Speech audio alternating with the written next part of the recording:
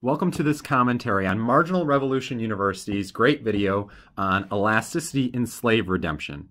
What I'm going to do here is just try and highlight a couple of the concepts that we've been focusing on class and add to the analysis done by Tyler Cowen.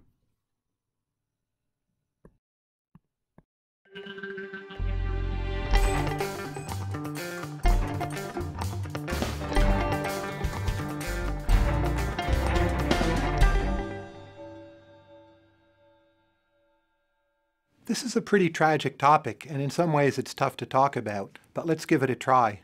Let's keep in mind that in the modern world there still really is a lot of slavery, and many people are rightfully outraged by this. But the question is what to do about it. So in the 1990s there were humanitarian reformers, and they went to Sudan. All right, one thing that we want to make relatively clear here, so we can remember for later, is that when we look at just Sudan here, we're looking at a relatively narrow geographic market, right? And when we have a relatively narrow geographic market, we would think of there being a more elastic supply curve right? And why would that be? Well, you can think about, like, say, the market for cars. If we said the market for cars in all of Africa, right, and we went through and looked at that, that market, eh, if the price for cars in Africa went up a little bit because the demand increased, uh, you know, some other markets would try and bring uh, cars to Africa, but it's going to be kind of costly. There's a lot of people in all of Africa, and that could be quite the big change. But if we talk about bringing cars just to Sudan, well, in that situation, if the price of cars in just Sudan went up, the supply response could be quite quick. We could get cars from Ethiopia coming in, right? We could get uh, cars from Saudi Arabia coming in. We could get cars from Libya coming in. We could get cars from Egypt coming in at relatively little to no cost because it's so close and we could make those changes quickly. So when we narrow the geographic market that we have, that supply is going to be relatively elastic. Just a small increase in the price and markets are going to respond to that quite quickly by increasing the quantity.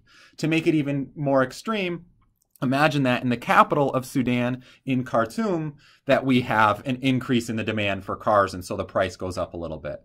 Now, quite clearly, we're going to be able to redistribute cars from other areas of Sudan and Ethiopia, Egypt, Libya, Algeria, Saudi Arabia, etc., quite quickly to the capital of Khartoum, and we'll see a great response in terms of quantity to just a small increase in price. Well, when we get a great increase in quantity to a small increase in price, we have something very elastic.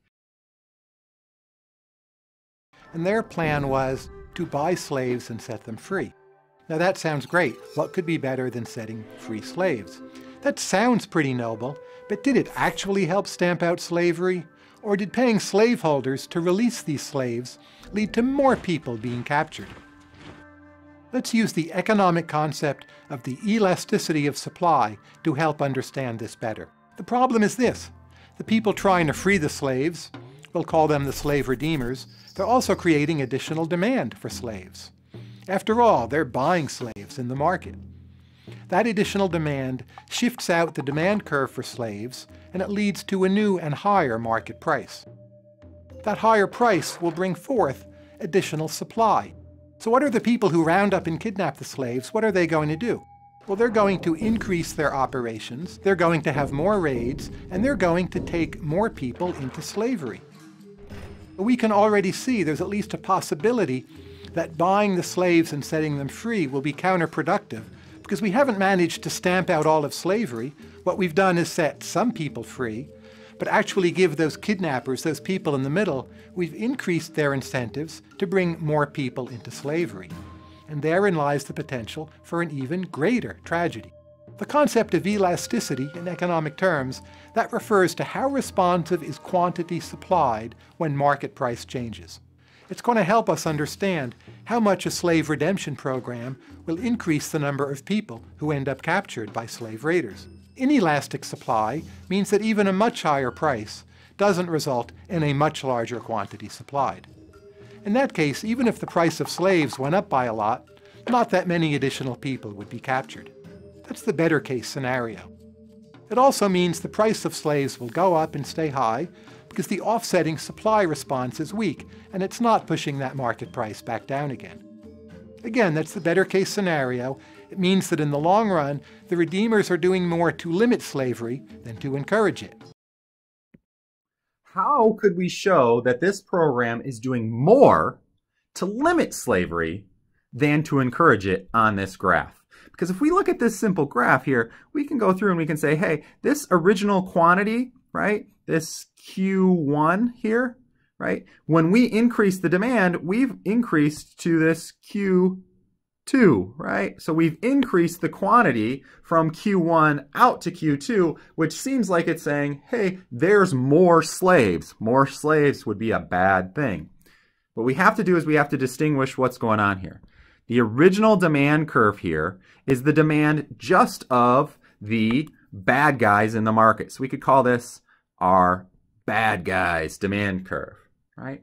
When we add to this market by bringing some redeemers into the market to purchase slaves, some good guys coming in trying to set the slaves free and redeem them, we get this second demand curve out here. This demand curve is not just the demand for the good guys, though. It's the market's demand. So we can say it's the demand for the bad guys and the good guys combined. So that's our new demand curve out there. So what we get is, yes, when we add to the demand, we get a greater quantity, Q2, but what we also do is we raise the price. So we raise the price of slaves in this market. Now, nothing has changed the demand for the bad guys. Their preferences haven't changed. Their willingness to pay at different prices hasn't changed. The only thing that has changed is the price has increased. And now with an increased price and the same demand curve still existing, right, we're going to move along our original demand curve, right, up to the quantity where the price now hits the original bad guy's demand curve. And this will be the quantity right here, this will be the quantity that the bad guys actually get on the market now with this new market condition, right? And so what we have, what we can distinguish is we can say, hey, from our original equilibrium point Q1, our bad guys actually reduce from Q1 back to QB the number of slaves that they have. Unfortunately, the number of slaves on the market, the supply does respond, right? The number of slaves on the market has actually increased from Q1 out to Q2. So we have encouraged slavery to some extent, but we've also gone through and reduced slavery to some extent. Now, what we can say is that we have reduced slavery more than we have encouraged it because the distance between Q1 and QB is greater than the difference between Q1 out to Q2.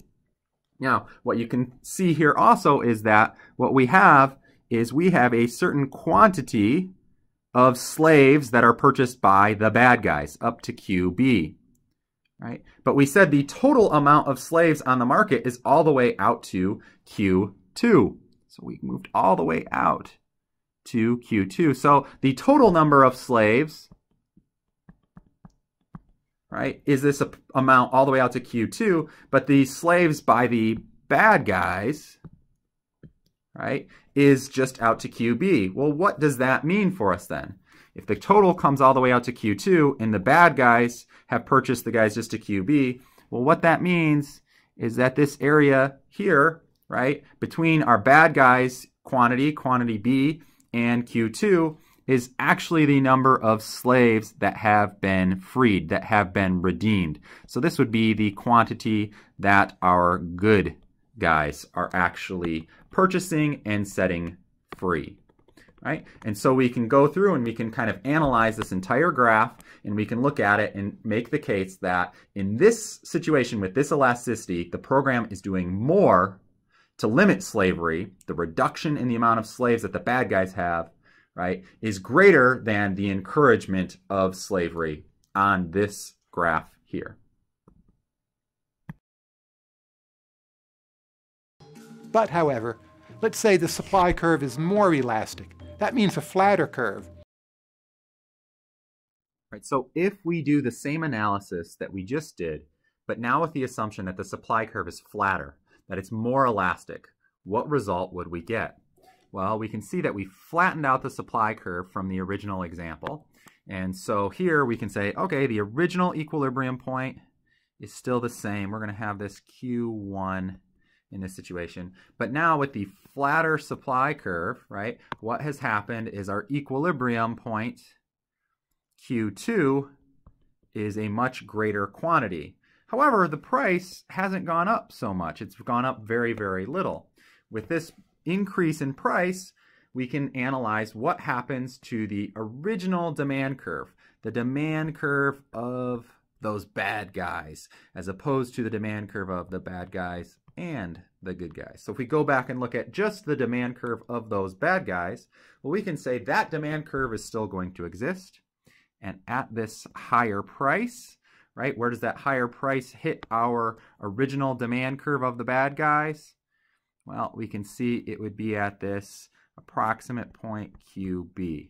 So what have we done? We have discouraged some slavery a little bit, the decrease from Q1 to QB, but we've also encouraged slavery from Q1 out to Q2 as we have increased the demand for slaves.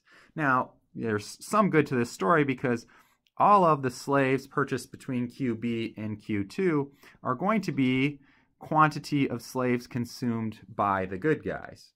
But this still isn't that great of a story because we still have a large number of slaves being purchased by the bad guys. The reduction in slavery has been very small, whereas the encouragement of slavery has been quite large.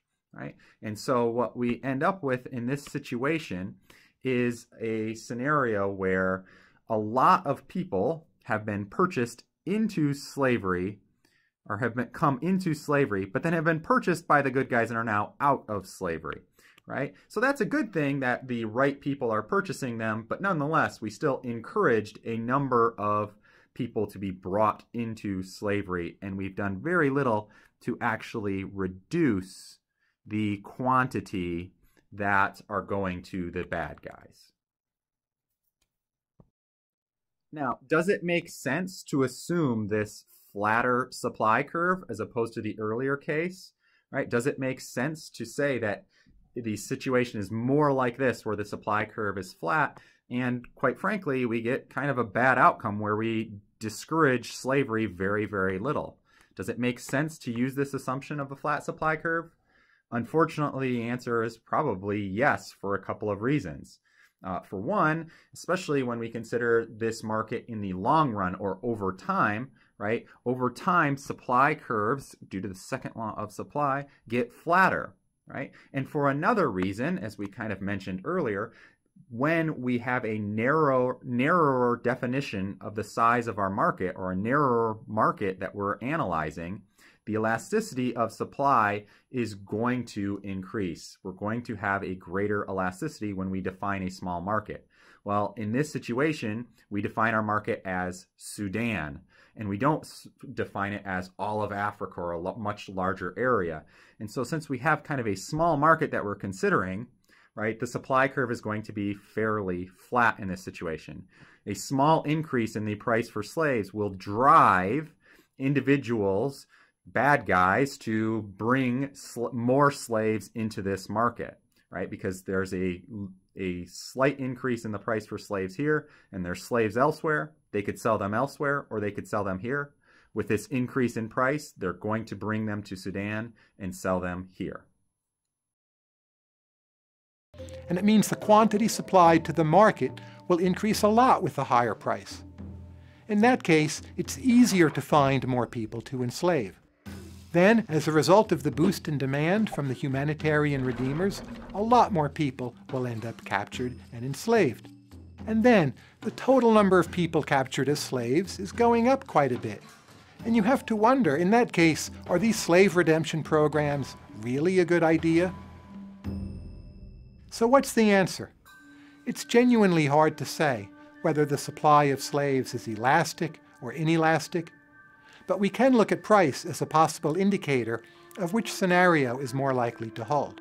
We know that in the early years of slave redemption, there was a noticeable increase in the price of slaves, and that could be evidence of a fairly inelastic supply curve. However, over time, the price of slaves has fallen, and that could indicate greater elasticity of supply in the longer run. Here, once again, I just wanted to note that this is a valuable example of the second law of supply, as Tyler explains. That makes sense because suppliers are usually more responsive to an increase in price as they have more time to adjust. For instance, they can hire more people and expand their operations. So this evidence overall suggests that perhaps the program has become less effective over time, and perhaps today it may actually be counterproductive and be increasing the burden of slavery. In other words, good intentions aren't always enough. If someone comes along and puts an apparently good idea on the table, we still need to think through its unintended consequences.